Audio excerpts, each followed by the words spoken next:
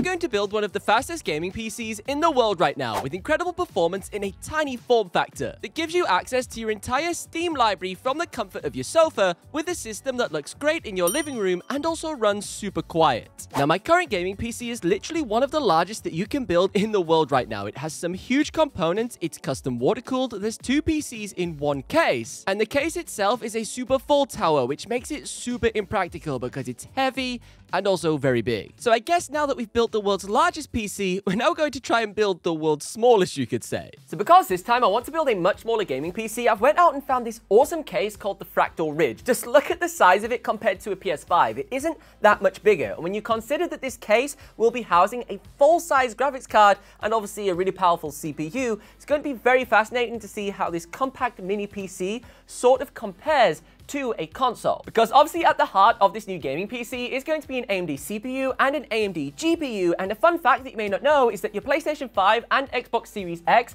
are both powered by AMD CPUs and also AMD GPUs. So we've kind of got like a weird shootout with our like console replacement PC and the real thing. Now for full transparency, AMD did provide me with the CPU to make this video and a small budget so I could purchase all of the other parts, which has been a huge help because these videos are incredibly expensive for me to make. But so I don't look like a complete YouTuber sellout, wait until the end of the video for a really cool surprise. So when it comes to the motherboard that I've chosen, I haven't gone for anything too crazy. It's just a standard B650 board. It's obviously got the brand new AM5 socket on there and it supports the latest and greatest DDR5 RAM. Now in particular, I went for this MSI board because because it kept the cost of the build down. Now with the new AMD processors, they do support things like NVMe Gen 5, which are like crazy speed NVMe drives. And at this current time, there aren't too many NVMe Gen 5 drives readily available in the marketplace. So instead, I went for this board here that only supports Gen 4 NVMe SSDs, but that's all I'm going to use anyways. It keeps the cost down. It's only around 250 pounds, this board, and it's pretty cool. Now, one thing I love in particular about AMD motherboards is the fact that the CPU sockets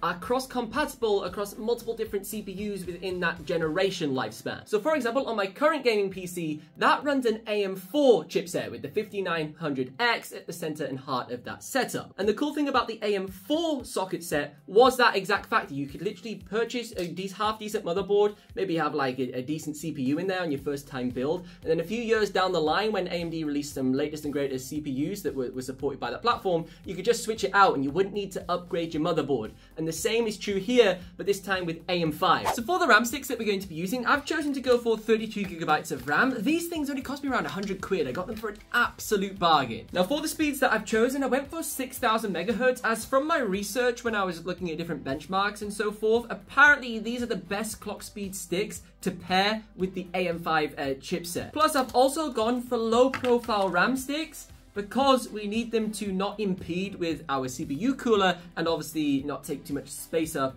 inside of the ITX case. Now, something that kind of blows my mind about the 7800X3D is the fact that this is the faster CPU than the 7900X when it comes to gameplay. And that's because of the 3D V-Cache. Now, although this CPU has got less cores and threads compared to my 7900X, which I just recently put in a new editing system, this CPU is actually faster because of the 3D V-Cache when it comes to gameplay. You get more FPS in titles with this CPU. It's unbelievable. In previous years, I like to put a cross on my CPU, but because of the new shape of these Ryzen CPUs, you see how we've got this like chipset stuff exposed here?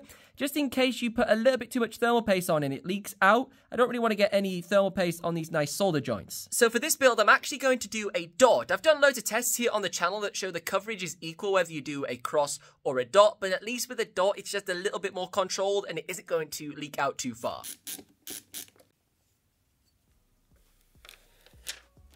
Building inside of the Fractal Ridge was a very pleasant experience. Considering how restrictive the space was, I usually find ITX builds to be very frustrating. However, for the very first time of building a small form factor PC like this one, I actually enjoyed the entire process. So for the graphics card, there's this weird little bracket that we sort of need to attach it into, and then it'll plug in with like a little extender cable, like a PCIe extender cable, into the motherboard, and then it's going to like lay flat, I believe, inside of the case, so obviously it all fits in and doesn't take up too much space. Now, for the graphics card that I've actually chosen, I've gone for the AMD 7900 XT. Now, originally, I was going to go for the 7900 XTX, which is like the insane, you know, top of the line one. Really, really good. But one, it's slightly smaller, so it'll fit into this case, just allow the airflow to be a little bit better. The XTX did fit into the case. This, I feel, just is a little bit more uh, natural, you could say. We're not cramming too much into such a tight, knit area. In addition to this, I also got an insane deal on the 7900 XT. One, it was a B-stock open box, so it had already a discount, and then it was also on sale, so I saved like about two, three hundred dollars, something like that,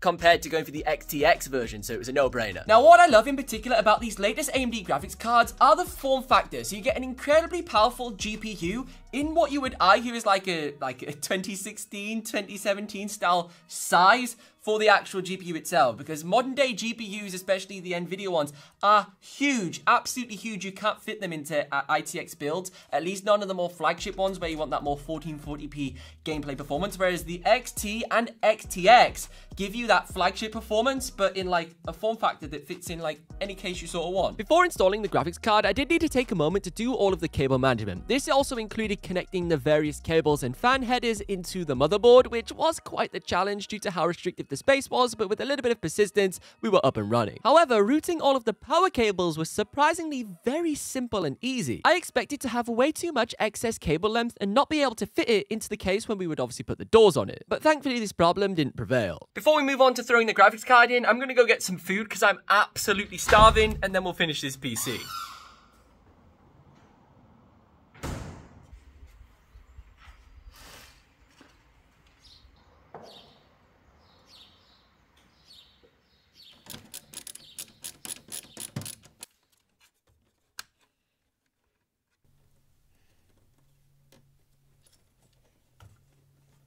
So the PC is now complete, but before we go ahead and put the covers back on, just check out how clean it is. This case was incredible to build in. Our graphics card fits without any issue. It's got fantastic airflow because of these two huge fans over here. Our main PC over here has got no issues whatsoever in terms of clearance. So the CPU fans got nothing impeding it. RAM sticks, beautiful. Motherboard looks great. And then here, we've got this great channel where we've ran all of the cables into the power supply. And this was a large concern of mine. I thought the extra lengths of cables would have been really difficult to route in the case, but no issues at all. And just a few finishing touches to make sure that this power cable doesn't get caught in our CPU fan. I've routed it up here through the little cable tie points nice and neatly. And then I've also done the same for the GPU. So to make sure that our two PCIe cables don't get caught in our fans, they're routed down the side here with the provided uh, Velcro straps. I think what we've managed to achieve here is mightily impressive. Just look at it compared to a PS5. There is so much performance jam-packed into such a tiny space with hardly any compromises, because these are some of the greatest and fastest PC parts that you can currently buy right now. And I don't know about you, but I cannot wait to see how this thing performs. So let's throw it in my car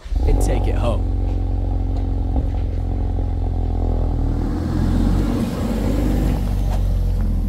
I think you'd be pretty surprised by the overall performance of this PC. The FPS it could generate was unbelievable. I tried a huge range of different games from like Assassin's Creed to Cyberpunk and put them on like the max graphic settings to really push this thing to its limits. First, let's take a look at Assassin's Creed Valhalla. Now, I put this game on very high for all of the settings, and I first tried it without FSR because I wanted to see the raw performance of the graphics card. Now, with very high graphic settings, we managed to get around 143 FPS, which was amazing at 1440p as well. But things got even crazier when I turned on FSR and I went for the quality preset just so the graphics still looked really good. And now I was getting around 190 to 203 frames per second, which was just mind-blowing. The next game that I wanted to try was probably the hardest one on this list, which was Cyberpunk 2077. Again, I went ahead and put this on a pretty high graphic settings, but for this title, I did only go for Ray Tracing Ultra instead of like Ray tracing insane because I think that might have been a step too far. On my first test, I had FSR enabled in quality mode and we were getting around 78 FPS, which I was pretty happy with. And just like Assassin's Creed Valhalla, these tests were performed in 1440p. And then with FSR turned off, we were getting around 40 FPS without it. So a huge performance increase with FSR enabled of around 28 frames per second. And the overall latency still felt fantastic. I think this was because of the combination of the AMD CPU and also the AMD GPU working really well together. Now, the game with probably the biggest FPS numbers was Uncharted 4. Now in Ultra, with everything cranked up to the max, without FSR,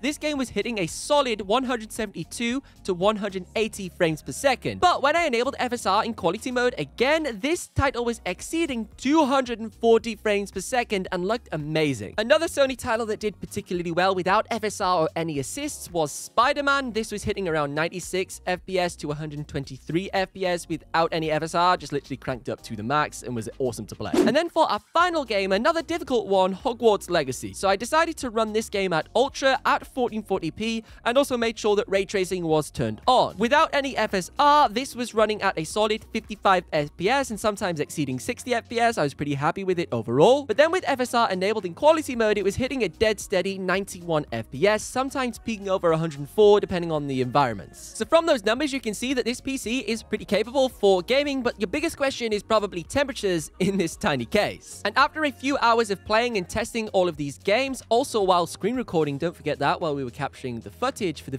video, and straight after that intense session, the overall ambient temperature of the case was around 71, 72 degrees, and the individual components were as follows. The CPU was around 81 degrees, and the graphics card was at a pretty cool 67 degrees. I think those numbers aren't too bad considering how restrictive the airflow is in this ITX build. Now, as promised, the surprise is that I'll be giving away an AMD 7600X gaming CPU. This is a fantastic processor for sort of like a mid-range gaming setup. Because I believe if I am going to be working with larger brands that I absolutely love, my audience has to benefit some way from me having that relationship. And one lucky winner will get their hands on this brand new gaming CPU, and all you have to do is literally be subscribed to the channel and fill out the form in the description down below in order to enter. Now, this giveaway isn't at all associated with AMD. I purchased the processor myself. I just felt like this video provided the great opportunity for me finally to do something like this for you guys. If you want to learn more about the AMD 7000 series, I'll leave a link down below in the video description. But if you want to see me build the world's largest gaming PC, you should check out this video next.